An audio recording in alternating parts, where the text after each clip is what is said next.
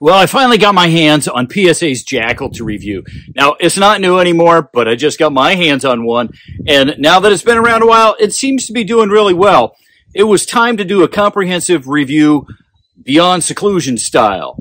I'm going to test it for accuracy, function, breakdown, suppressed versus unsuppressed. You know, take it to the distance out four five hundred yards there over my shoulder, top of the hill, if we can, benched and standing. I also want to test out five different loads from AAC showing the feet per second accuracy and energy for the 300 blackout. Now, there are many things that caught my attention with this new design, and I have been anxious. Guys, I've been anxious to test this out for a long time. Let's see if it meets all the hype and is worth the extra coin over the traditional AR design. Now, the one thing that caught my attention the most was the no buffer tube design. This makes the pistol version much easier to use and perfect to SBR if you desire. Let's find out just what the JAKL is all about and what it can do.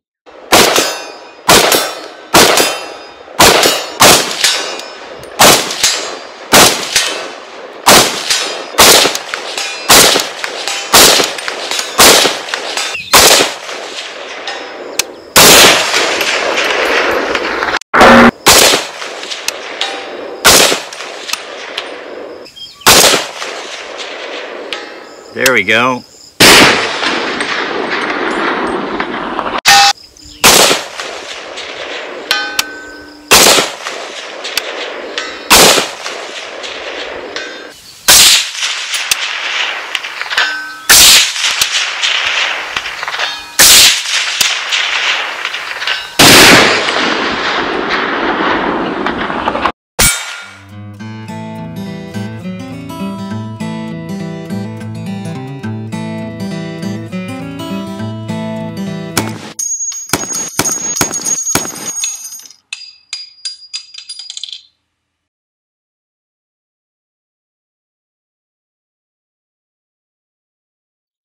I'm Drew Case. Welcome to Beyond Seclusion, where I only give you my honest opinion. And it is what it is. Now, I remember when PSA started working on the JAKL, it seems like a long, long time ago, and it has been coming for some time. Now, honestly, I wanted to wait until it had been around for a while before trying it. You know, see if it had any bugs, um, you know, if anything needed fixing.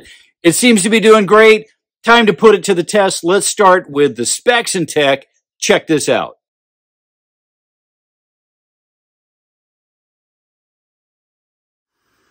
Hey guys, I got a call from a local supermarket that had a whole bunch of expired hams and was doing a separate review. You might want to check that out. It is the JAKL and the 300 Blackout versus a bunch of expired hams. Uh, I did that as a completely separate review because it's kind of long with the slow-mo. Anyway, you're going to want to check that out. Here's just a teaser.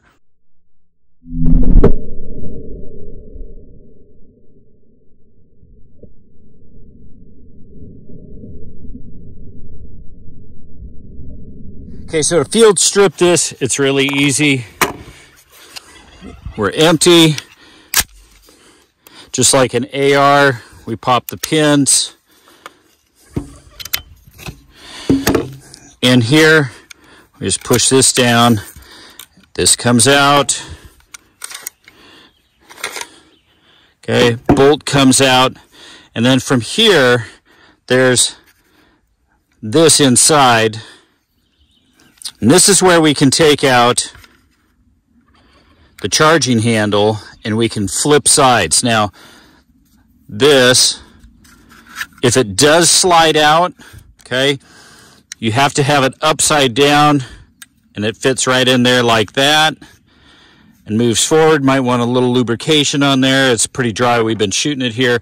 Now, to switch sides, all we do is we slide it right in here Okay. If you, you can actually kind of put it in too far and then it doesn't want to go forward. So we just pull it out just a little bit.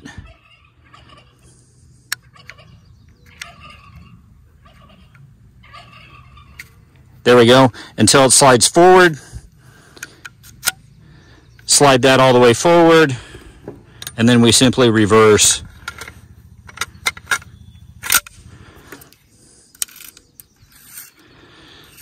Goes upside down. And there we go. Okay, real quick, the trigger that comes with it is pretty much mil spec. A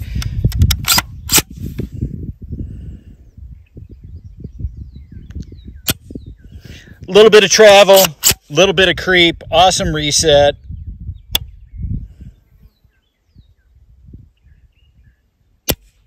You know, as far as mil spec triggers, it's not bad, okay? I think uh, if we had a custom trigger in there, we could probably shrink groups, I'm guessing. Let's just see what we get for pounds here.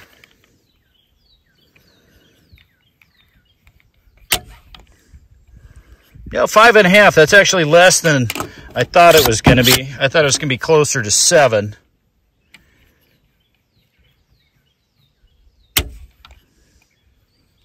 A little under five and a half.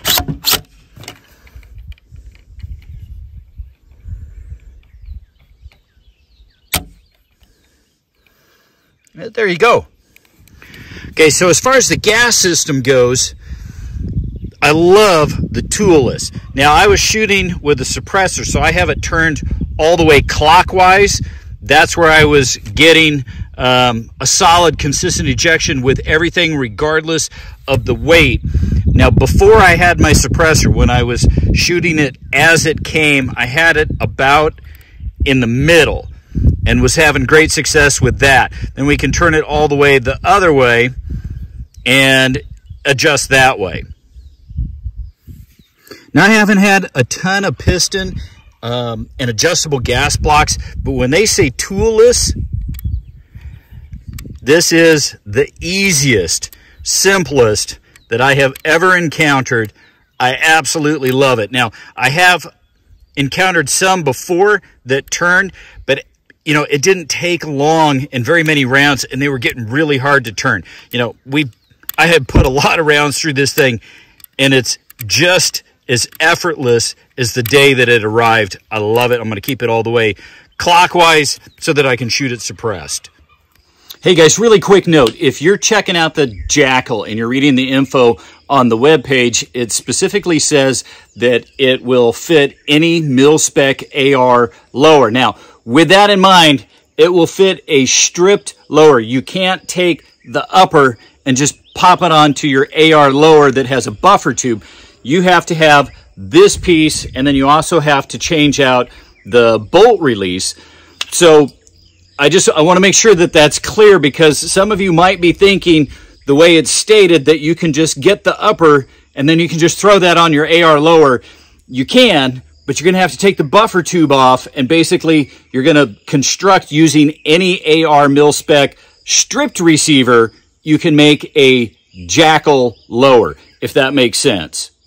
I was really interested to test out the long stroke piston design, as we all know how reliable that is in AKs.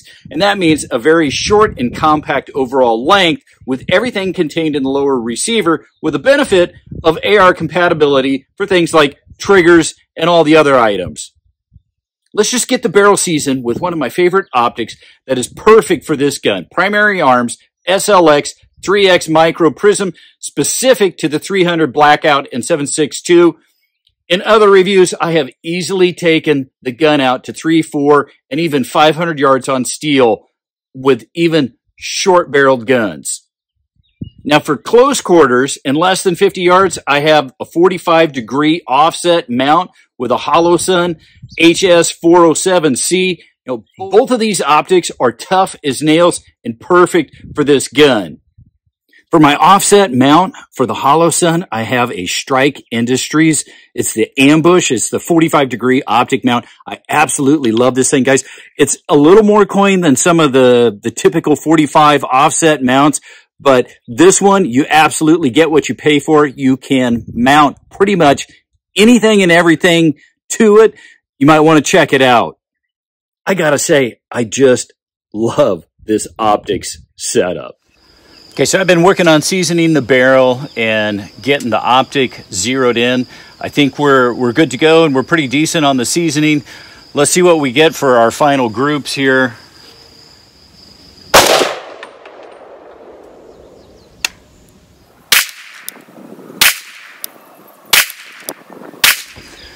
Okay, actually I just used the binocs and we're, we're just a dash to the right. So I made two clicks to the left Let's see how that does.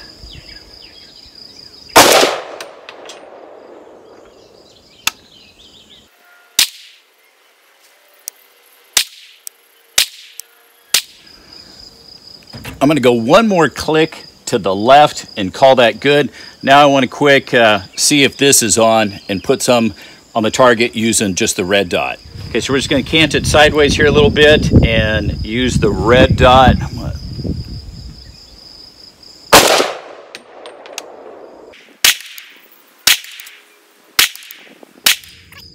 Okay, those were some pretty decent groups using range ammo. Let's go check those out.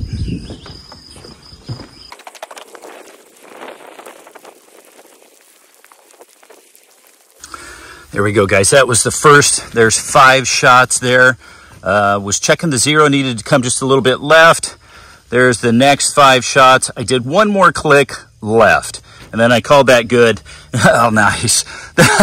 That's the five shots using the red dot. Now, with it canted, it does pose some challenges for zeroing because you're going, you know, elevation and windage.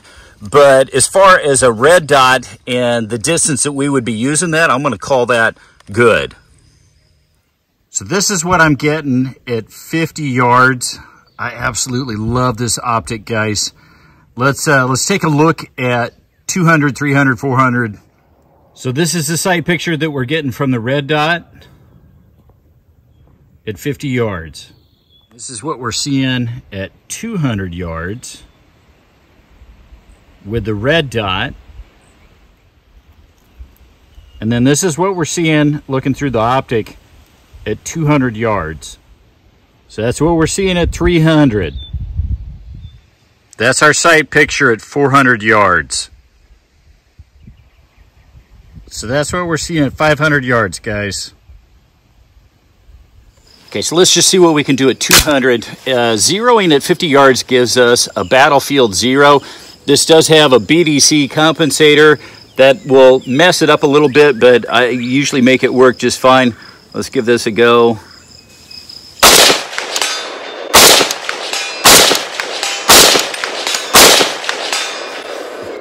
Yeah, that was too easy. That's what I expected. Okay, let's reach out there to 300. We're going to try just, you know, on the bullseye or in this, the tip of the chevron, and I'll show you the field of view. Let's give this a go and see if it if it's on. Hey folks, are you enjoying this review? If you are, help support the channel. Hit that subscribe button. This helps more than just about anything. It's simple, quick, costs you nothing, not a zip, zero, nothing. So hit that button. Keep the reviews coming.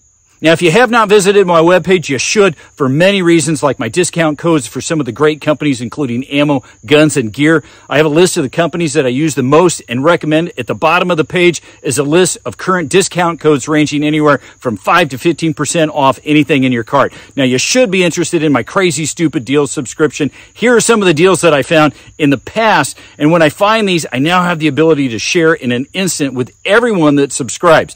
And I blast them out in an email as soon as I find them. It costs you nothing. Unsubscribe at any time. I have saved folks hundreds, even thousands of dollars. Don't take my word. Read the comments. It works. It's awesome and it costs nothing. If you follow my channel and you shop on Amazon, you can help support and keep the reviews coming by going on to Amazon through my link. Anything and everything you purchase by doing so help support the channel. You can literally buy toilet paper through my link and it helps support the channel and the reviews. Simply save the link to your phone or your computer and shop as you always do. Check out my highly rated online courses. They come with a 30 day money back guarantee. You got nothing to lose. Literally thousands have found them helpful. Read the reviews and see for yourself. And check out the cooking tips page. There are some awesome recipes on there, good food, and it can literally save you thousands of dollars a year.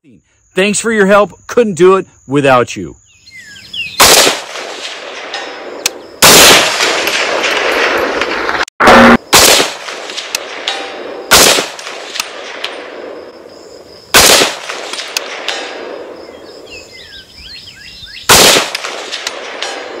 Nice. Okay, so I was using the top of the line at 300. At 50, we've got the top of the chevron.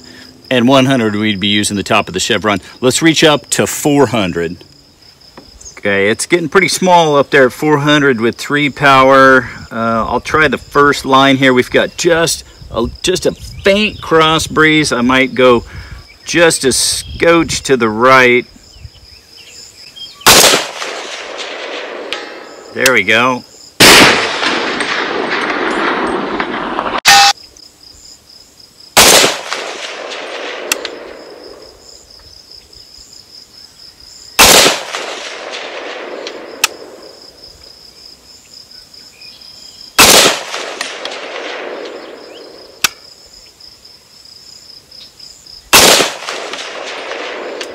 Let's try aiming just a little bit higher.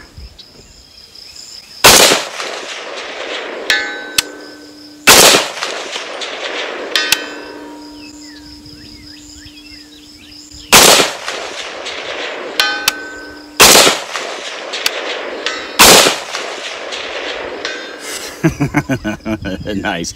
Okay, so I was taking the top of the first line and putting it at the head of the IDPA. Let's try five. Man, that IDPA is getting really small at 500.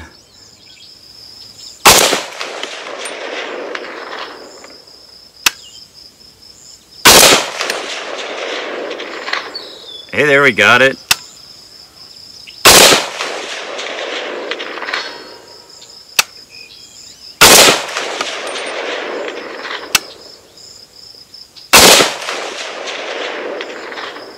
Four left out of that box. Let's jump back down to 400 and see how fast we can get these off.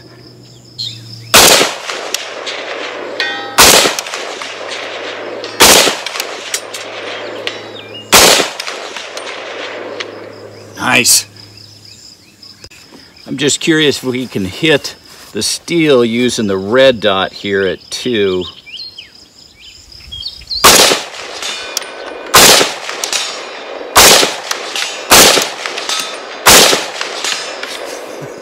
Hope I got another one in the chamber yet.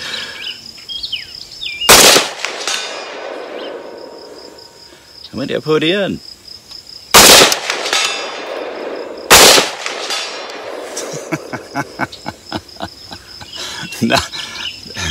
you gotta love that. So I didn't really think about it, but I really can't use this stand standing. I only can use this if I'm if I'm benching and I can basically control the recoil. Um, so what I'm going to do now is we'll try standing at 50 yards with the offset red dot. I think we'll be pretty good here.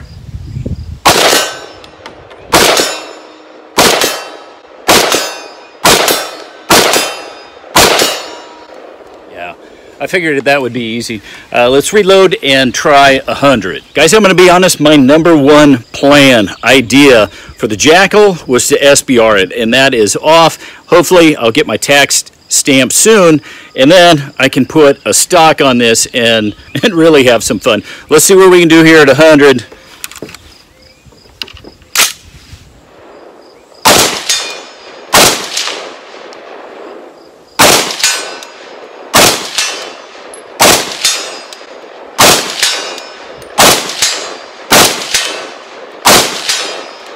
Yeah. Yeah, that's not bad. Um, yeah, we'll have to try two. Okay, let's give this a go at 200. This is going to be a lot more challenging. We did hit it resting it, so we know it was on.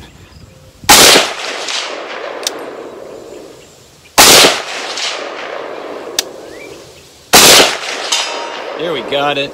Just got to push forward enough.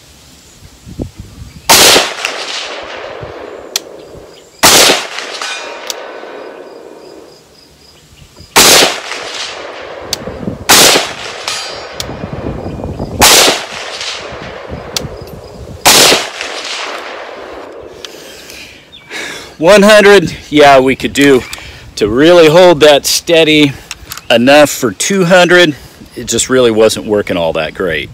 What I want to do now is is uh, I'm still using this to season the barrel let's uh, chronograph uh, AAC's different ammo out of this so you know what you're going to get out of this that will kind of further along the seasoning and then I want to put a optic on this like a scope so that we can see what is the uh, best case scenario for accuracy. I'm also going to take off the birdcage flash suppressor, put an adapter on there, and put my can on it because you know 300 blackout and especially the JAKL is really kind of designed for a suppressor as you have seen, it works just fine if you don't have one, but you know, it really was sort of intended to have a suppressor. So let's get that on.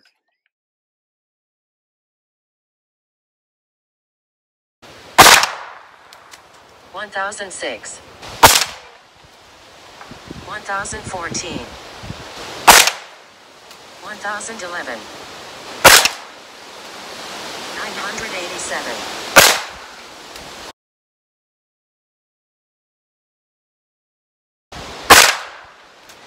1047 1051 1024 1037 1060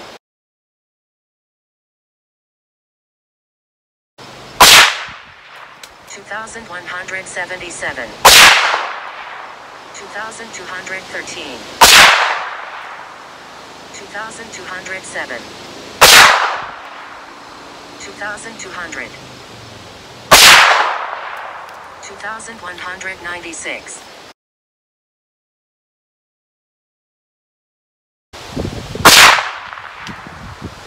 One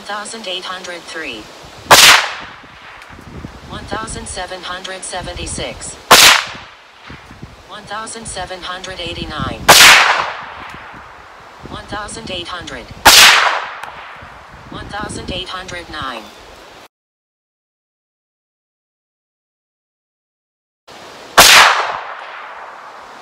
2048 2043 2070 2014 2027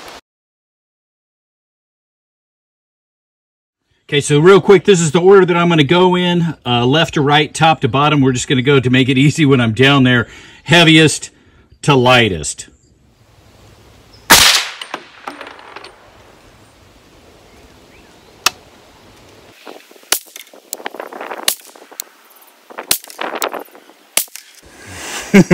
nice. Guys, I can't wait for you to see that group. The 125 grain full metal jacket, the range ammo, all touching. Guys, I am super impressed. Okay, so the middle one, this was getting zeroed with the scope and worked our way over and we stopped there. Okay, then what I did was I went from heaviest to lightest. So this is the 220 Sierra Match Kings. That's five rounds. There's two, two in there, two in there, and one in there.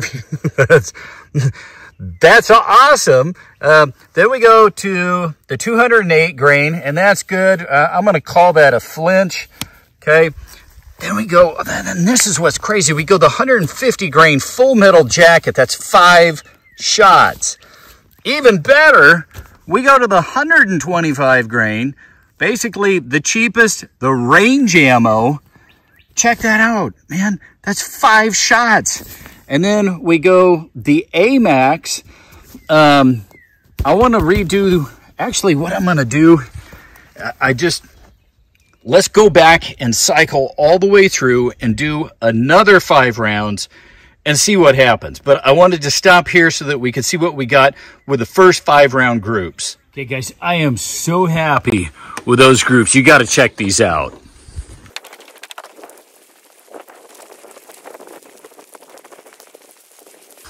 Okay, so we showed you the zero in. We did the five shot groups, and then we went back and we did another. There's our 220 grain. So there's 10 shots, two groups of five. You know, that's pretty good. The 208 I really liked the 208. That was solid. Um, you know, it's slower. We had two flyers. Otherwise, that's really nice. Remember, we zeroed on the 125. That's why it's down. And for some reason, with the, the heavier ones, it kind of comes left. And there's our 150 grain. That's AAC's full metal jacket. I mean, basically a heavy range ammo. That's nice. That is awesome. That is 10 rounds of their range ammo. Their 125 grain full metal jacket, AAC's bullet, that rocks. And then this is the 110 grain uh, AMAX. You know, we had a flyer here, and that's a great group. But what I just think is hilarious is you take the range ammo from AAC, and it blows away everybody. Well, anyway, there you go, guys. As I always say, it is what it is. Let's reach out and bang on some steel while we've got the scope with some of our range ammo at 500 yards. Let's see what we can do with that 125 up there at 500.